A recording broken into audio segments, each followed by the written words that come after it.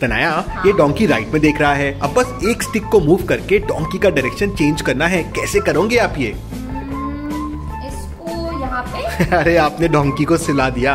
उसका direction change करना है सुलाना नहीं है। एक से मूव करके इसका फेस तो वापस नहीं बना सकते। हाँ। मतलब लेग्स के साथ कुछ करना पड़ेगा। हाँ। ऑल्सो ये नीचे देख रहा है तो इसको ऊपर देखने के लिए आ, हो गया। तना क्लिक लाइक तो ज़रूर बनता है।